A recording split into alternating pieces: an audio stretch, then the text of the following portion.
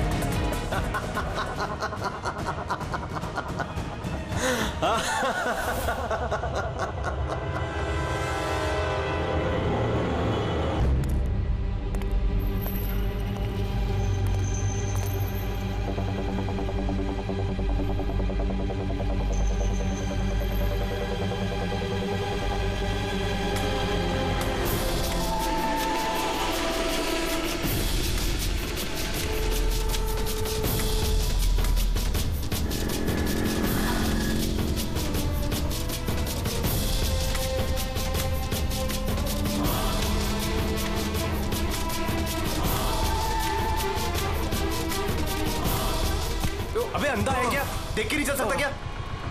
अंधा ही हूँ भाई। अरे अरे भाई सॉरी मेरी छड़ी मुझे पता नहीं था। आपको ऐसे नहीं निकलना चाहिए। कहीं चोट लग जाएगी आपको। माफ़ करिए। पर मुझे ध्यान देना चाहिए। ठीक है ठीक है। आराम से जाइएगा। जी जी। आप चले जाएँगे या मैं छोड़ के आऊँ? नहीं नहीं मैं चला जाऊँगा। ठीक है। थैंक यू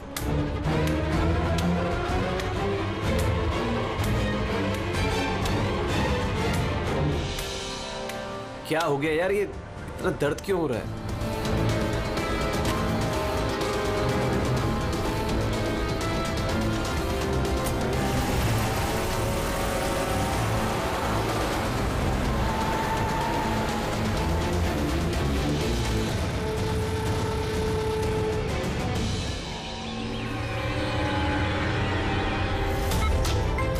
कुछ नहीं होगा, रमन। तुम्हें कुछ नहीं होगा। Hold on hold on Raman. पैर पकड़ो पैर पकड़ो। डॉक्टर इंजेक्शन जल्दी जल्दी फास्ट क्विकली डॉक्टर इंजेक्शन दो जल्दी।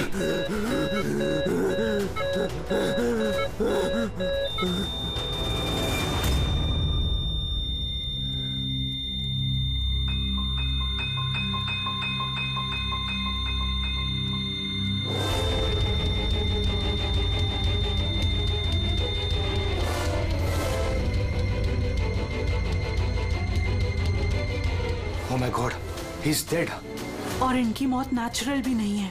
अब क्या? I know Priya it's a murder और मैंने डॉक्टर सालुंके को इस केस के बारे में सब कुछ पहले से बता दिया था। अब तक तो उन्होंने फाइंड आउट कर भी लिया होगा कि रमन की मौत की वजह क्या होगी। जहर? रमन की मौत जहर से हुई है? हाँ बस। बहुत खतरनाक जहर है। ये पहले इंसान के दिमाग पर असर करता है। पहले डिलेरियम फोटोफोबिया एमिनेशिया उसके बाद ये जहर इंसान के बाकी के अंगों पर असर करता है। बाकी के अंग धीरे धीरे काम करना बंद कर देते हैं और इंसान की मौत हो जाती है। सर उनके साहब इसका कोई एंटीडोट तो होगा ना? हर जहर का एंटीडोट होता है। फ्रेडी लेकिन उसके लिए हमें उस जहर के बारे में पूरी जानकारी होनी चाहिए। बस ये जहर आसानी से पकड़ में नहीं आता है। मुझे भी बहुत सारे टेस्ट करने पड़े इसे ढूँढने के लिए। सर जहर दे के मारना एक अलग बात है। और ऐसा जहर देना जिससे इस तरह तड़प तड़प के मरे ये जरा चौंकाने वाली बात नहीं लगती? लेकिन ये जो भी कोई है ऐसी नफरत करता था रमन के साथ कि उसने उसे ऐसी खतरनाक मौत दे दी। समझ में नहीं आता कौन हो सकता है ये? कौन होगा? कोई भी हो सकता है सर। सर रमन को जुए की लत थी। क्रिकेट रेस कोर्स सट्टा हर तरह का जुआ। और इसी चक्कर में वो पाँच करोड़ के कर्जे में था। पाँच करोड़? पाँच करोड़? हाँ सर उसको धमकी भरे मैसेजेस भी आए थे। उसके फ़ोन रिकॉर्ड्स में ऐसे कई सारे मैसेजेस हैं जो उसको बुकीज और सट्टेबाजों ने भेजे। ये देखिए। सर हो सकता है इन्हीं में से किसी की धमकी सच साबित हो गई होगी। पता नहीं। पर जिस तरह से इसको मारा है सर लगता तो नहीं है किसी बुकी का काम है। फिर भी इन्हें बुलाना तो पड़ेगा। शायद कुछ पता चल जाए। हेलो एसीपी प्रद्युमन अच्छा। ठीक है।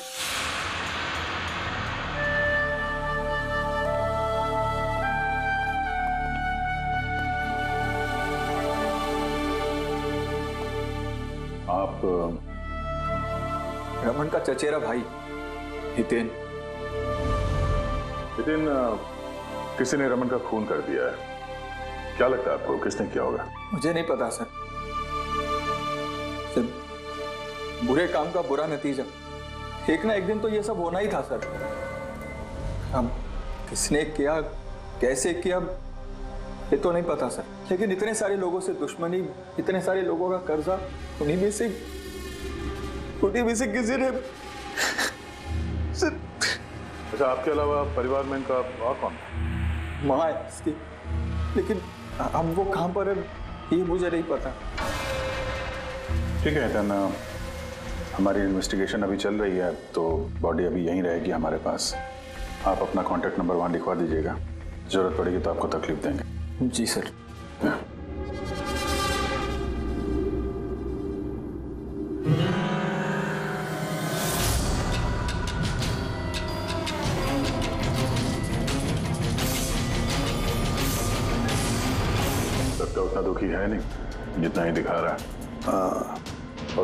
की जल्दी नहीं थी। जैसे ही बोला जाओ तो निकल गया। कोई पूछताछ नहीं कब मिलेगी बॉडी। गड़बड़ है। गड़बड़ है ये हितेन बड़ी गड़बड़ है। ऐसे लग रहा था जिसे ये बात पक्की करने आया था कि रमन मरा है या नहीं। नज़र रखो उस पर। रमन? रमन? बेटा? रमन? मैम मैम, आप बेटा मेरा रमन माँ मैं इसकी वसुंधरा बेटा क्या हुआ? मैं तो तेरा इंतज़ार करती रही कि तू आएगा और मुझे घर ले जाएगा एक दिन। पर तू तो इतना दूर चला गया बेटा। रमन आप अपने बेटे रमन के साथ नहीं रहती थी? जी नहीं सर। आप सर मेरा नाम मदन है। भगवान मुझे क्यों बिठा रखा यहाँ पे? उठा लेता मुझे। ही संभालो अपने आप को। और कितना रोग इस नालायक के लिए। इसको अपनी करनी की सजा मिली है। नहीं बेटा ऐसा मत कहो। चाहे जैसा भी था बेटा था मेरा। क्यों ऐसा क्या किया था इसने इनके साथ? इन्हें अपने ही घर से बाहर निकाल दिया। सड़क पर छोड़ दिया अकेले। ऐसा क्यों? बोला माँ बहुत कर्जा है। घर बेचना पड़ेगा। और मेरा खर्चा भी नहीं उठा सकता। इसीलिए मुझे छोड़ दिया और फिर क्या करती सर? ठीक से दिखाई नहीं देता। कहाँ जाती मैं? पड़ी रही फुटपाथ पे, भूखी, प्यासी, बेघर, बेसहारा। फिर शायद भगवान को दया आ गई, और उसने उस फरिश्ते को भेज दिया। उसका चेहरा तो नहीं देखा मैंने, लेकिन उसने मुझे अपने साथ चलने के लिए कहा, और मैं चली गई। एक बड़ा आदमी। मुझे इसके पास ले गया। सर, दरअसल मेरी एक संस्था है, संयुक्त वृद्धाश्रम। हम वहाँ पर कोशिश करते हैं कि इन जैसे बुज़ुर्गों को घर जैसा प्यार और सम्मान मिल सके। माँ जी मुझे वृद्धाश्रम के गेट पर मिली थी, एक चिट्ठी के साथ, जिसमें लिखा था कि इनका ख्याल रखना। बस उसी दिन से संयुक्त वृद्धाश्रम इनका घर बन गया। आज सुबह लैंडलाइन पे फ़ोन आया कि इनके बेटे की मौत हो गई है। बस। इनसे रहा ही नहीं गया माँ है ना? मेरी आपसे विनती है इसके कातिलों को छोड़ना मत सर। ज़रूर सजा दिलवाना सर। ज़रूर सजा दिलवाना। देखिए माँ जी मैं आपसे वादा करता हूँ हम रमन के कातिल को नहीं छोड़ेंगे। उसे कड़ी से कड़ी सजा दिलवाएँगे। आप प्लीज़ चिंता मत कीजिए। हम्म? थोड़ा ख्याल रखिए अपना। मदन? इनका ख्याल रखना और एक बात, किसी भी चीज़ की आप लोगों को ज़रूरत पड़े तो हमें ज़रूर याद करना। हम्म कमाल है। तारिका, हॉस्पिटल के डॉक्टर्स की रिपोर्ट के हिसाब से इसकी जांग पर जो निशान है ना, ये या तो किसी एलर्जी का है या फिर किसी जहरीले कीड़े मकोड़े के डंक का निशान है।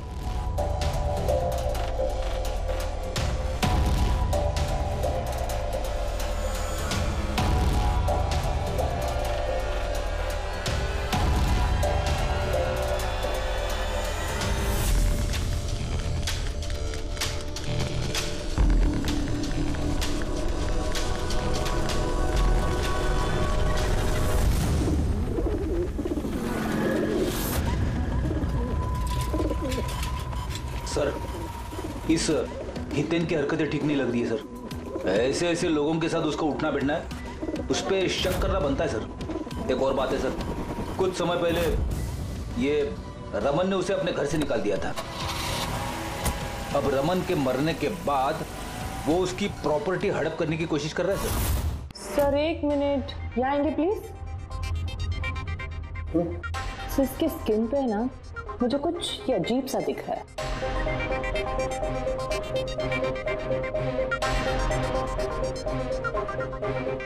हम्म। ये जो अजीब सी चीज़ है ना दरअसल ये पैराफिन है। पैराफिन? मोम। अरे तो इसका मतलब वो जहर इसके थाई में नहीं इंजेक्ट किया गया? किया गया। वो जहर इसकी थाई में ही इंजेक्ट किया। तो फिर ये मोम कहाँ से आया? हम्म, मोम कहाँ से आया? तारिका यहाँ से खूनी ने जहर इंजेक्ट किया। दरअसल ये जहर मोम से, पैराफिन से कोटेड था। इसीलिए इसकी इस चमड़ी पर भी और इसके खून में भी हमें पैराफिन मिला है। क्योंकि खूनी नहीं चाहता था कि जहर तुरंत इसके शरीर में जाकर के असर दिखाए। इसलिए उसने इसे कोट कर दिया। और ये जो जहर है, इसको माइन ये एक बायो पॉइजन है, जैविक जहर। खूनी ने इसे मोम से कोट किया इसके शरीर में इंजेक्ट किया और फिर इसके शरीर की गर्मी से मोम पिघलने लगा और वो जहर इसके खून में मिल करके अपना असर दिखाने लगा। मतलब ये जहर किसी लिक्विड फॉर्म में नहीं बल्कि पैलेट यानी छोटी गोली के फॉर्म में इसके शरीर में डाला गया है। एग्जैक्टली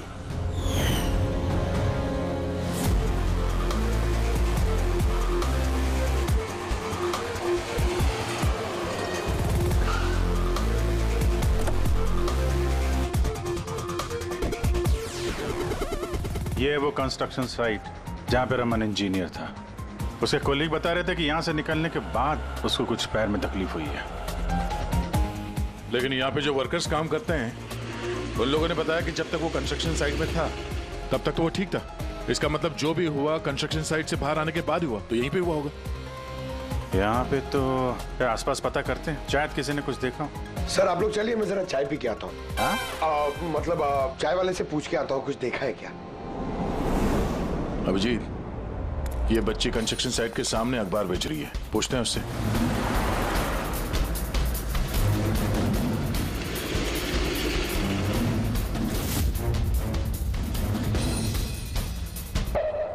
क्या नाम है बेटा आपका? चुटकी। चुटकी? अच्छा बेटा जरा ये देखो ये। ये फ़ोटो देखो ध्यान से। इनको जानती हैं पहचानती हैं? हाँ ये अंकल तो हमेशा मुझसे अखबार खरीदते थे। पर तीन दिन से नहीं आए। तो तीन दिन पहले आपने इस अंकल को यहाँ पे देखा था? हाँ एक आदमी के साथ ये टकरा गए थे। इनको चोट भी लगी थी। वो आदमी बहुत अजीब था। अजीब अजीब मतलब? ओ, अबे अंधा है क्या? देख के नहीं चल सकता क्या? अंधा ही हूँ भाई।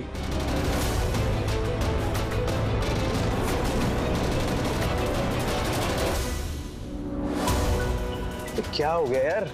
दर्द क्यों हो रहा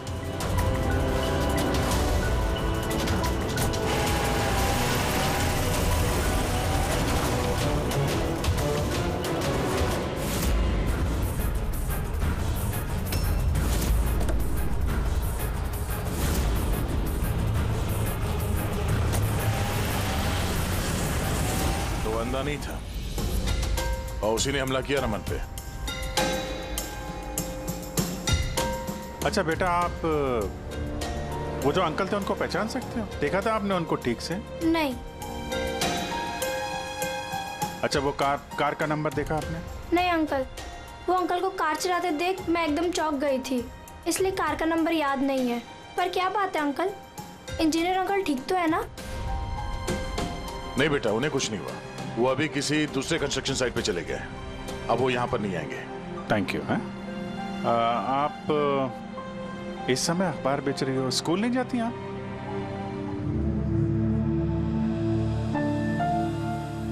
क्या बात है हैं? स्कूल तो जाना चाहिए। आप कितनी इंटेलिजेंट लड़की हो। एक्चुअली हर बच्चे को स्कूल जाना चाहिए और आपको भी जाना चाहिए। पर स्कूल जाने के लिए बहुत सारे पैसे चाहिए ना अंकल? मेरे पास पैसे नहीं है।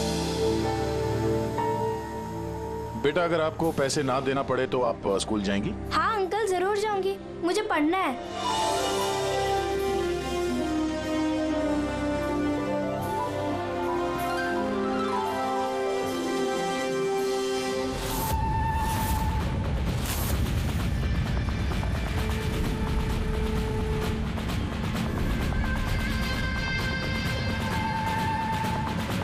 समीर अब तुम्हारी बारी। हाँ बोलो। हाँ। यार, तुम्हें एक बार में समझ में नहीं आता है?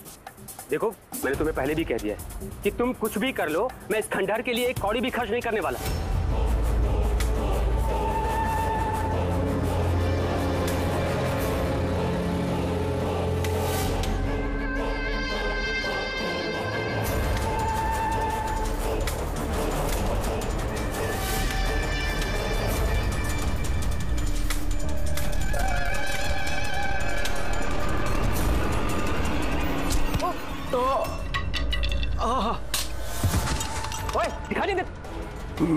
मेरी छड़ी। Sorry sorry sorry sorry I am sorry I am sorry मेरी छड़ी। I am sorry extremely sorry अब आपको कहीं लगी तो नहीं? आप ठीक है ना? मैं मैं आपको कहीं ड्रॉप कर दूँ? नहीं नहीं मैं ठीक हूँ मैं चला जाऊँगा। आप आप ठीक है ना? नहीं नहीं आम ओके आप आप संभाल के जाइए हाँ? जी। आप संभाल के जाइए। ओके थैंक यू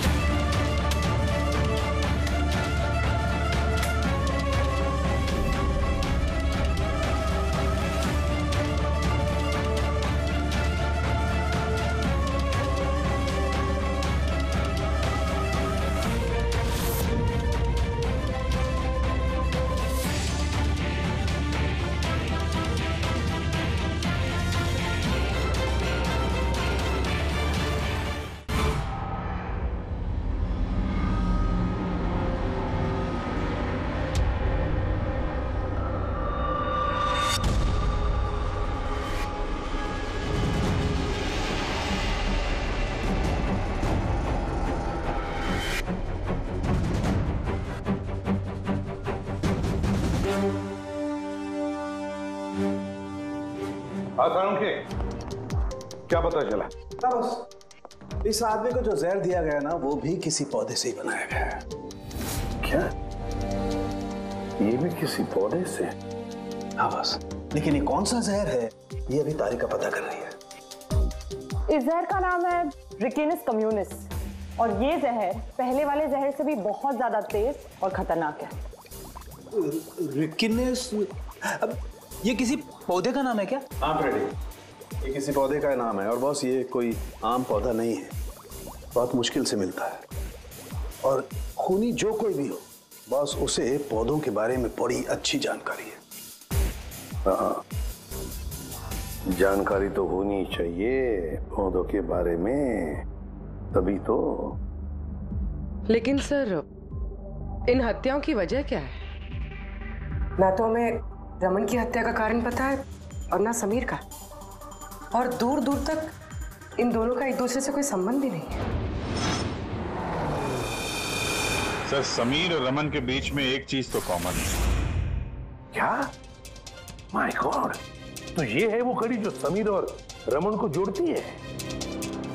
आ, तो क्या दोनों ने एक ही गलती की? जी सर। रमन की तरह समीर ने भी अपने बूढ़े और कैंसर पेशेंट पिता को घर से निकाल दिया था। हमने उनके बारे में छानबीन की और एक ऐसे शख्स से मिले जिन्होंने समीर के पिता को ढूँढने में मदद भी की और इस केस को एक नया मोड़ दिया। कौन है वो? सर ये डॉक्टर दिनेश है। हेलो सर कैंसर सेंटर के चोड़ी समीर के पिताजी का इलाज यही कर रहे थे। डॉक्टर दिनेश सर एक बात समझाइए। समीर ने अपने पिताजी को घर से बाहर निकाला था। तो फिर ये समीर के पिताजी आपके यहाँ कैसे पहुँचे? आपके कैंसर सेंटर में। किसी ने उन्हें हॉस्पिटल पहुँचा दिया था। मैं हॉस्पिटल पहुँचा ही था जब मैंने इनको देखा। ये चेयर पे बैठ के कुछ बड़बड़ा रहे थे। हाथ में लिफाफा था। मैंने पूछा कि कौन है लेकिन इनको कुछ याद नहीं था। मैंने उनके हाथ से लिफाफा लिया। पैसों के अलावा उसमें एक चिट्ठी भी थी। उसमें लिखा था कि इनको कैंसर है और हम इनको अपने यहाँ एडमिट करके इलाज शुरू करें। एडमिशन के लिए डिपॉजिट की रकम लिफाफे में है और इलाज के पैसे भी हॉस्पिटल के अकाउंट में ट्रांसफ़र हो जाएँगे। उनकी उम्र और हालत को देखकर मैंने उनको एडमिट तो कर लिया पर मुझे चिंता थी। अगर पैसे ना मिले तो लेकिन भगवान का शुक्र है अगले ही दिन इलाज के पूरे पैसे दस लाख रुपए हॉस्पिटल के अकाउंट में ट्रांसफ़र हो गए थे। दस लाख रुपए? किसने किसने ट्रांसफ़र किए? सर हंड्रेड परसेंट खुनी ने दिए होंगे। सर बैंक डिटेल से पता चल जाएगा। पता चल गया एक्चुअली पैसे समीर की वाइफ रत्ना ने दिए थे सर ये सब मेरी गलती है सर मेरी वजह से समीर की जान चली गई। मैंने ही उसे उकसाया था। पिताजी की देखभाल में काफ़ी प्रॉब्लम हो रही थी। और सारी प्रॉपर्टी और सब हमारे नाम पर हो ही चुका था तो। मैंने समीर को कह के पिताजी को घर से निकलवा दिया। शर्म नहीं आती तुम्हें? समीर के पिता तुम्हारे भी पिता समान थे। उनको ही घर से निकाल दिया। तो ये सब करने के बाद फिर उनकी इलाज के लिए दस लाख रुपए क्यों दिए? मुझे किसी ने धमकी दी थी सर कि अगर पिताजी के इलाज के लिए दस लाख रुपए नहीं दिए तो वो समीर को और मुझे मार देंगे। सर मैंने उन्हें दस लाख रुपए दे दिए। फिर भी उन्होंने समीर को मार दिया। और और अभी भी कहा है कि अगर हर महीने पिताजी के इलाज के लिए पचास हज़ार रुपए नहीं दिए तो वो मुझे भी मार देंगे। किसी पे शक है तुम्हें? नहीं। उसके बारे में कुछ याद है? उसकी आवाज़ उसका लहजा कुछ भी। कुछ भी नहीं सर प्लीज़ मुझे बचा लीजिए। सर मैं मरना नहीं चाहती। सर मैं पिताजी को घर ले आऊँगी। मैं मैं उनकी पूरी देखभाल करूँगी। पूरी कोई तकलीफ़ नहीं होगी। सर आप प्लीज़ मुझे बचा लीजिए। घबराओ प्लीज़ मुझे बचा कुछ नहीं होने देंगे तुम्हें हम हम्म? तो भी जिस नंबर से इसे धमकी भरे कॉल आते थे वो नंबर ले लो और पता करो कहाँ का है। आप चलिए। चलिए।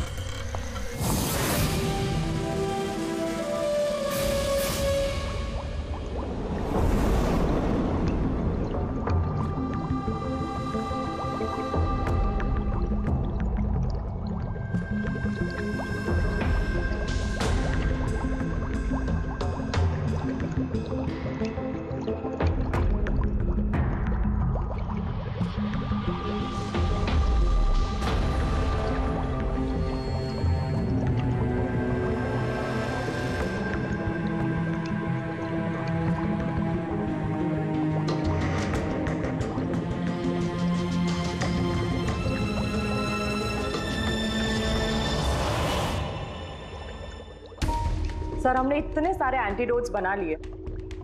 लेकिन इसकी क्या गारंटी है कि खूनी इन्हीं में से किसी जहर का इस्तेमाल करेगा? अब कुछ भी हो जाए, हम खूनी का दिमाग तो नहीं पढ़ सकते ना। तुम्हारी बात बिल्कुल ठीक है तारिका, लेकिन एक बात समझो। खूनी इन पौधों का जहर निकाल करके इस्तेमाल कर रहा है, इन पौधों का। पहले से भी ज़्यादा तेज, हर बार। तो हमें हमेशा चौकन्ना रहना पड़ेगा। पता नहीं वो अगली बार कौन से पौधे का जहर किस पर इस्तेमाल करे। पता नहीं किस पर कब, कहा, कैसे, किस पौधे का। पता नहीं।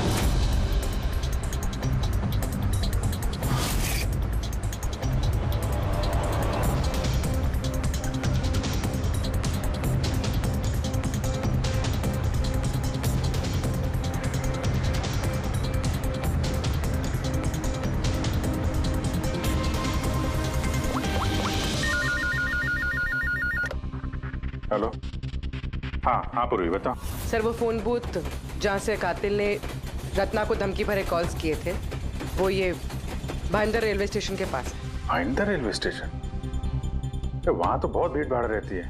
ज़ाहिर सी बात है उसने ब्लाइंड मैन के भेस में तो किया नहीं होगा। बड़ा मुश्किल है पता लगाना। सर किसी को कुछ पता तो नहीं है लेकिन एक खास बात यह है कि ये कॉल्स सुबह 11 से 12 के बीच किए गए हैं। और रेलवे स्टेशन के पास एक बस स्टैंड भी है। जहाँ से बस जाती है पुणे। बस स्टैंड भी पास में ही है। तो ट्रेन से भी जा सकता है और बस से भी। चलो कोई बात नहीं। देखते हैं। भाईंदर इसका मतलब कि खूनी मुंबई से ही है? और सिर्फ़ समीर का खून करने के लिए पुणे गया था? तो पुणे वो ट्रेन से गया होगा? या फिर बस से? या फिर कोई प्राइवेट गाड़ी या फिर खुद की गाड़ी से? वही तो। सर खूनी को पता था कि हम लोग रत्ना तक पहुँच जाएँगे पर ये कॉल वाली बात खुलेगी। इसलिए वो हमें गुमराह कर रहा है सर। खेल खेल रहा है हमारे साथ। हाँ खेल खेल रहा है। मगर सर हम लोग खूनी तक पहुँचेंगे कैसे? हमारे पास उसके खिलाफ तो कोई इंफॉर्मेशन है ही नहीं। और हमें यह भी नहीं पता है कि उसका अगला शिकार कौन होने वाला है। पंकज इससे पहले कि खूनी अपने शिकार तक पहुँचे हम शिकार उसके सामने डाल देंगे। सुबह 10 बजे की है। मुंबई के गोरेगांव रेलवे स्टेशन पर एक बुज़ुर्ग ने रेल के नीचे आकर अपनी जान देने की कोशिश की। वहाँ मौजूद लोगों ने उन्हें बचा लिया। आइए जानते हैं कि आखिर वो क्या वजह है जिसने एक बुज़ुर्ग को ये करने पर मजबूर कर दिया। क्यों पकड़ के रखा हुआ छोड़ दो मुझे मैं नहीं जीना चाहता हूँ। क्या करूँगा मैं जी करके? लेकिन आपके साथ हुआ क्या है? आखिर आप क्यों मरना चाहते हैं? क्या हुआ? मेरे साथ क्या हुआ मुझे मुझे मेरे इकलौते बेटे ने घर से बाहर निकाल दिया। अकेले करके मैंने अपने बच्चे को इतने प्यार से पाला पोसा और उसने मुझे उसने मुझे घर से बाहर निकाल दिया। ये तो बड़े दुख की बात है। आखिर क्या हो गया हमारी आजकल की पीढ़ी को? आपका बेटा करता क्या है? करता क्या करता है? स्कूल स्कूल जाता है। टीचर है? नहीं पढ़ता है। स्कूल में पढ़ता है। अभी आठ साल का ही तो है। जी क्या कहा आपने? क्या मैंने आपका बेटा कितने साल का है? कितने साल का है? आपने कहा? आठ आठ साल का है। मेरा बेटा आठ साल का है उसने मुझे घर से बाहर निकाल दिया। मैं मर जाऊँगा सुना आपने? इनका दावा है कि इनके आठ साल के बेटे ने इनको घर से बाहर निकाल दिया। आखिर क्या वजह है? कौन है आठ साल का बच्चा? रेल की पटरी पर जान देने की कोशिश करने वाले बुज़ुर्ग के आठ साल के बेटे का पता चल गया है। वो दरअसल तैतीस साल का सॉफ्टवेयर इंजीनियर है। बुज़ुर्ग की दिमागी हालत ठीक नहीं है इसलिए अब भी वो उसे आठ साल का बच्चा ही समझते हैं। उनका बेटा अमेरिका में रहता है और उसने उन्हें घर से बाहर निकाल दिया है। उसके बाद ही बुज़ुर्ग ने अपनी जान देने की कोशिश की। आइए आइए उनके बेटे से ही पूछते कि उन्होंने आखिर ऐसा क्यों किया? सर सर सर एक एक सवाल सर। सर क्या ये सच है कि आपने अपने पिताजी को घर से बाहर निकाल दिया है? हाँ ये सच है। सर आप आखिर आपने ऐसा क्यों किया? आपको एक बार भी बुरा नहीं लगा? हाँ निकाला मैंने। और बुरा भी नहीं लगा। आप जानते हैं इनको? आपने कभी झेला इनको? इनको अल्जाइमर्स की बीमारी है। मैं पागल हो गया उनका ख्याल रखते रखते। मेरी खुद की एक लाइफ है। मेरी वाइफ है मेरी फैमिली है। मैं क्या करूँ? कब तक पैसे दे दे के इनका ट्रीटमेंट का काम कराते रहूँ मैं? पैसे नहीं है मेरे पास। सब खत्म हो गया अरे यहाँ से अरे छोड़ दो मेरा पीछा। मेरे दूर चले जाओ मुझसे। परेशान हो गया आपसे मैं। ये तमाशा देखो खड़ा कर दिया। खुश हो गए? चले जाओ मुझे छोड़ गए यार। Sir sir sir sir sir sir कभी आप भी तो छोटे थे ना? इन्होंने आपको पाल पोस के बड़ा किया इस लायक बनाया और आपने इन्हें घर से बाहर निकाल दिया। तुमको बहुत प्यार आ रहा है हाँ? जा अडॉप्ट कर ले जाके। दिमाग खराब मत करो मेरा। तुमको जो करना था ना तुमने आके कर लिया बवाल खड़ा। प्यार भी मिल गई ना तुमको। पैसे कमा लिए ना। हटो यहाँ से। तो देखा आपने कि किस तरह एक लड़के ने अपने बाप को घर से बाहर निकाल दिया? अब ये बेचारे बुज़ुर्ग कहाँ जाएँगे? किसके सारे जाएँगे इन्होंने अपनी सारी पूंजी अपने लड़के पे लगा दी और आज इनके लड़के ने इनको घर से बाहर निकाल दिया।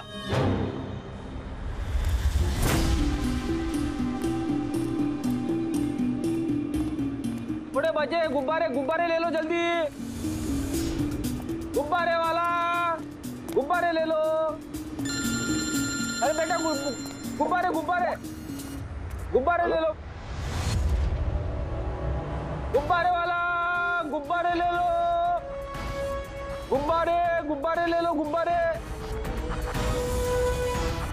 गुब्बारे ले लो बेटा, गुब्बारे। गुब्बारे ले लो। गुब्बारे गुब्बारे वाला, गुब्बारे। गुब्बारे ले लो।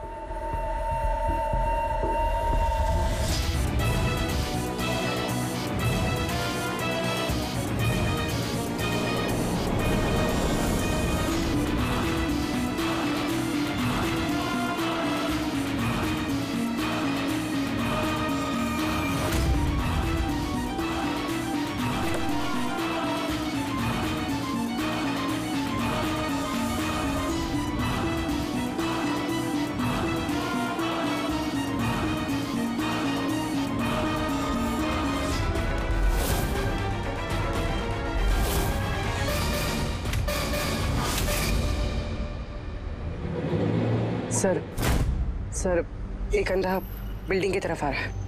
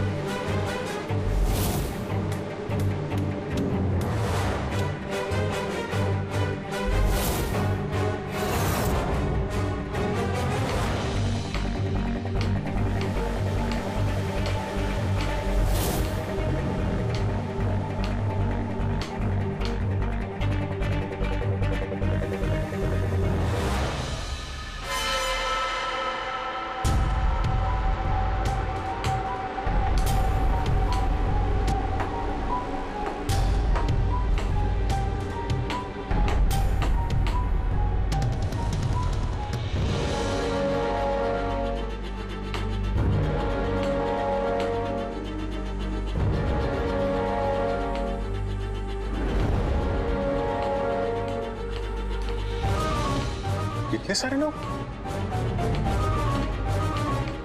सर इतने सारे अंधे एक साथ? हमने तो एक सोचा था यहाँ तो आठ दस निकले। लगता है ये कोई चाल है। एक मिनट एक मिनट आप लोग रुकिए। एक मिनट यहाँ कैसे आ गए आप लोग? ये आप आप तब कहाँ आए आप लोग यहाँ? क्या बात है? हाँ? क्या हुआ? यहाँ आँखों का फ्री चेकअप होने वाला है। संपत है आप? संपत? उसने ही बुलाया था हम लोगों को। देखिए यहाँ पे ऐसा कोई शिविर नहीं है। कौन संपत कौन है? किसने बुलाया आपको? उसने ही तो बुलाया था यहाँ।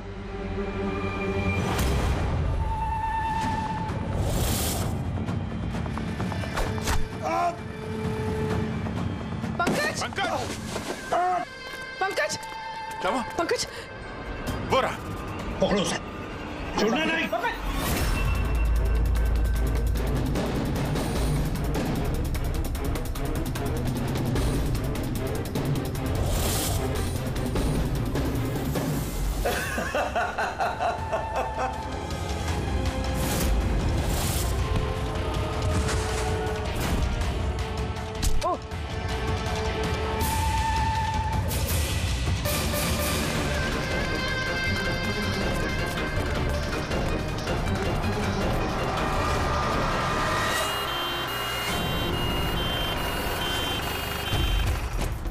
आजा जल्दी आजा।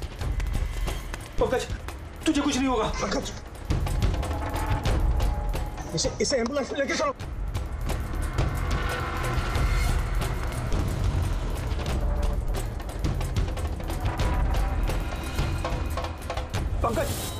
पंकज तुझे कुछ नहीं होगा। पंकज?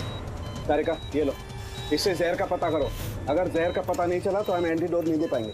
मेरी बात सुन रहे हो तुम? सुना नहीं है पंकज। आखिर बंद मत होने देना। आदिश हमारे पास इसका एंटीडोट हो वरना हमें इसे हॉस्पिटल ले जाना पड़ेगा। एंड आई एम श्योर ये वाला जहर पहले वाले जहर से बहुत ज़्यादा स्ट्रॉन्ग है। तारिका एक काम करो नेशनल बायो सेंटर को फ़ोन करो और उसे लाइन पर रखो।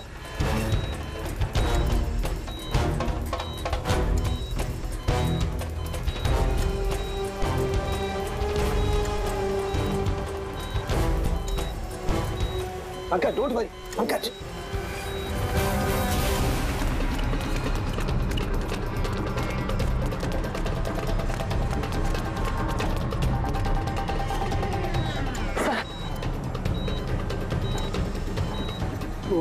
God. ये नहीं हो सकता है। और सूत्र तो जहर ही बदल दिया। लेकिन सर हमारे पास इतने सारे एंटीडोट्स है कोई ना कोई तो काम करेगा ना? कोई काम नहीं करेगा बॉस ये पौधे का जहर ही नहीं है उसने जहर बिल्कुल बदल दिया है। अब क्या होगा सर के करना कुछ यार। पंकज पंकज की ब्रीदिंग सब ठीक हो जाएगा हाँ?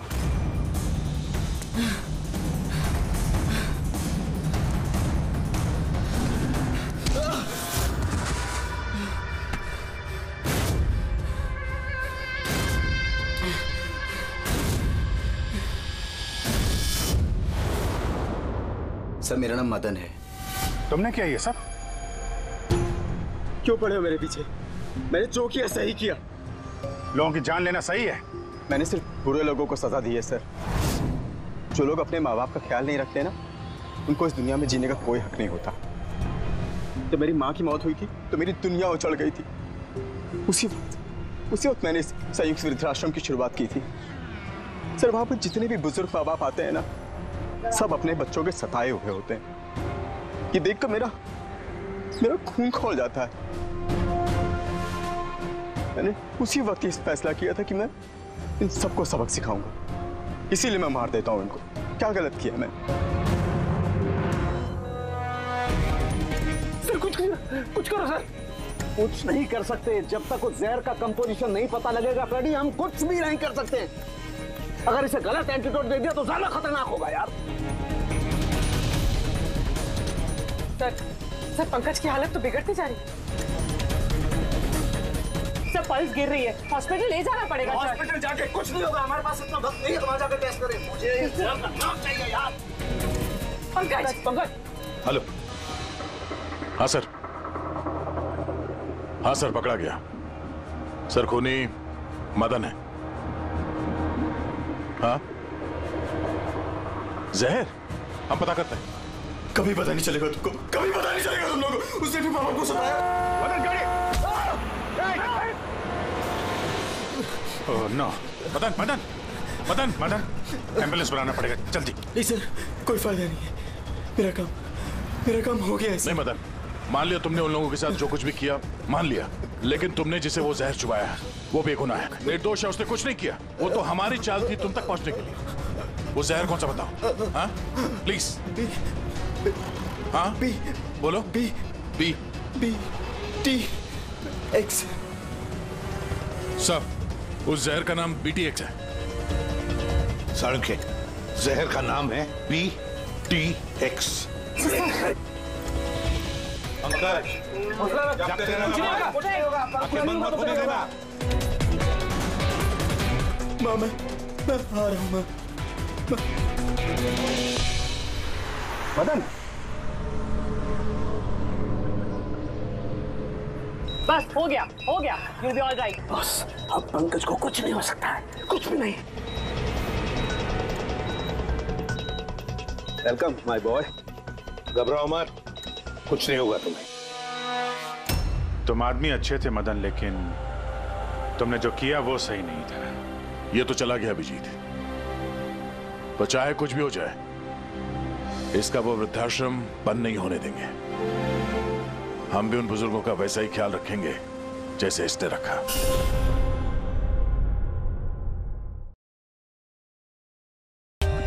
For more updates, subscribe to our channel, click the show links and enjoy watching the videos.